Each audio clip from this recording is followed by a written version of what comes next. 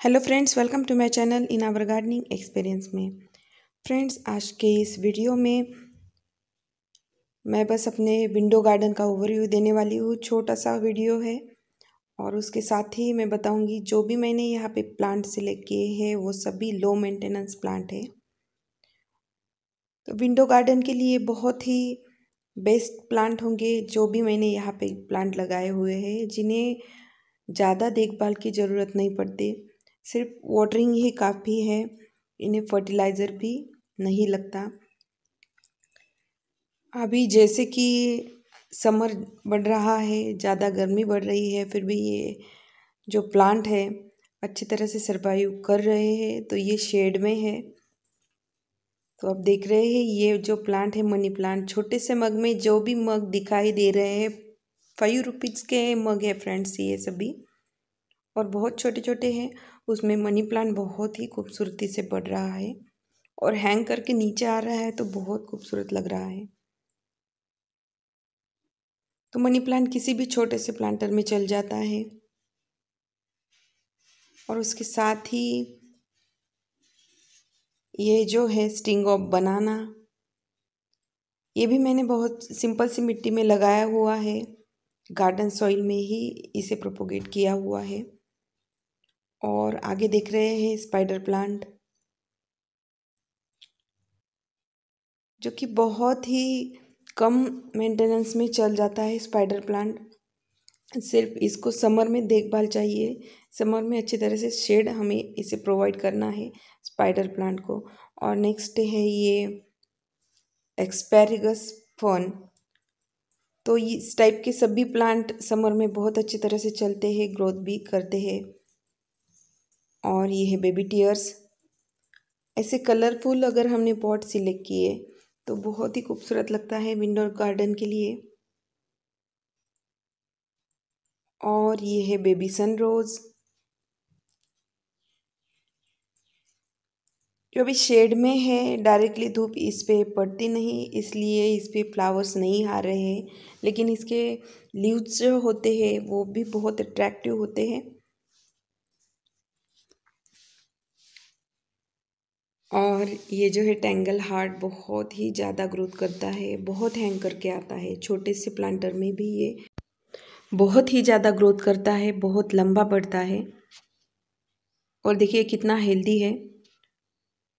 Friends tangle heart plant directly धूप में भी बहुत अच्छी तरह से ग्रो करता है शेड में भी अच्छी तरह से ग्रो करता है और शेमी शेड भी इसे पसंद है। सभी कंडीशन में ये ग्रो कर जाता है। और ये जो है छोटे से मग में जिसे होल नहीं है, उसमें मैंने स्नेक प्लांट लगाया हुआ है, जो ये लंबा वाला है। और छोटे से मग में विदाउट होल वाले मग में जितने भी स्नेक प्लांट की वैरायटी है, वो चल जाती है। ऊपर आप देख रहे हैं, ये भी छोटा सा मग है, इसमें हैंग करके आया है टर्टल वाइन और नीचे आप देख रहे हैं, ये इमोजी पॉट में मैंने जेड प्लांट लगाया हुआ है। उसके साथ है स्नेक प्लांट। वो भी मग में ही है। स्पाइडर प्लांट है। स्पाइडर प्लांट भी फ्रेंड्स हम विदाउट होल के मग में लगा सकते हैं। ज़्यादा ग्रोथ उसमें नहीं करता लेकिन खूबसूरत लगता है। और फिर से है टेंगल हार्ट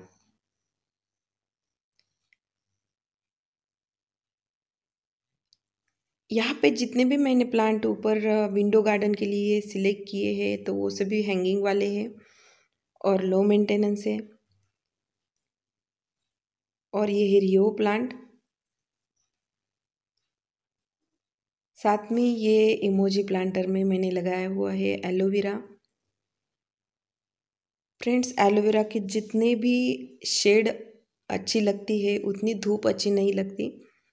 बहुत ही धूप में इसका ब्लैक कलर हो जाता है और जितने हम इसे शेड प्रोवाइड करें, वो उतना ग्रीनिश हो जाता है। और फिर से है ये टर्टल वाइन तो टर्टल वाइन भी शेड में बहुत ही खूबसूरती से बढ़ती है। अगर हमने इसे डायरेक्टली धूप में रख दिया तो ये इतना ग्रोथ नहीं करता। उसके साथ ही है मनी प्लांट ऊपर भी आप देख रहे हैं मनी प्लांट और बाकी के सभी हैंगिंग वाले ही प्लांट्स है, यहाँ पे अरेंज किए हुए। तो मेरे छोटे से विंडो में बहुत सारे प्लांट मैंने यहाँ पे रख दिए हैं अरेंज किए हुए हैं। तो जब, बारिश का सीज़न होता है तो इसे आठ आठ दिनों तक वाटरिंग करने की ज़रूरत नहीं पड़ती। अभी समर चालू है, इसलिए इसे एक दिन के बाद वाटरिंग करनी ही पड़ती है। बहुत सूख जाते हैं सभी पॉट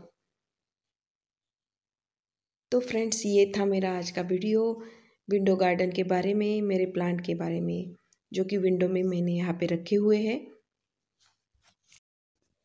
फ्रेंड्स, वीडियो अच्छा लगा हो तो सब्सक्राइब कीजिए, शेयर भी कीजिए और कमेंट भी कीजिए। Thank you for watching friends मिलते हैं नेक्स्ट वीडियो में bye bye and happy gardening